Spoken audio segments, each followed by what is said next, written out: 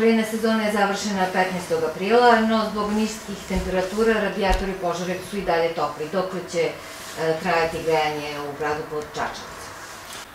U gradu Požarevcu će e, grejna sezona faktički trajati sve onoliko koliko bude potrebno e, da se, da se ispoštuju zakonski i drugi propisi. A što je još, još važnije, sve dok naši građani smatraju da to treba da traje.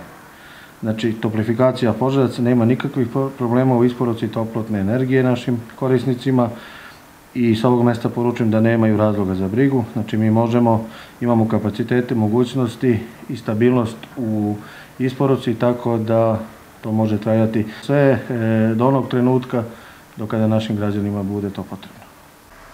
Po okončanju grejne sezone krenut ćete sa građevinskom sezonom.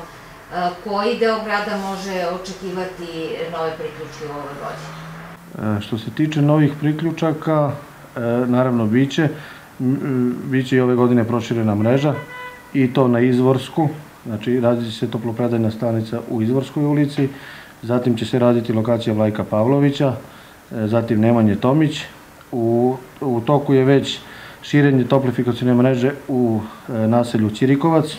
Radovi su počeli pre 10 dana.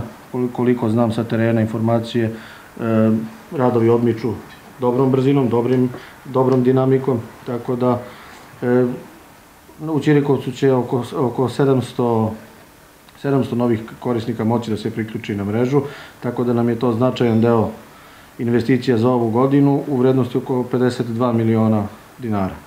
Nastavljeni su radovi na lokaciji Ratarska 209. Priključci se očekuju naredne godine. Paralelno sa širenjem toplifikacione mreže radit će se i na zanavljanju postojeće. Tako da ćemo ove godine raditi i zanavljanje cevi na, na lokaciji e, ženski zatvor, odnosno kazneno-popravni zavod za žene Požarevac. Zatim ulica Sime Simića, zatim Boška Vrebalova, osnovna škola Dosite Obradović, zatim Viši sud i sve to ukupno u vrednosti od 24 miliona dinara. U ovoj godini smo opredelili i sredstva za rekonstrukciju toplopredajnih stanica i to na lokacijama ulica 7. jul, Đure Jakšić, Vrtić Neven i Dom penzionera u vrednosti od oko 14 miliona dinara.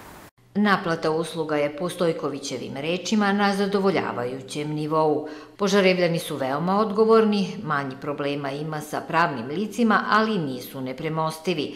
Najodgovorniji su i dalje penzioneri, od kojih, kako ističe Stojković, treba da učimo.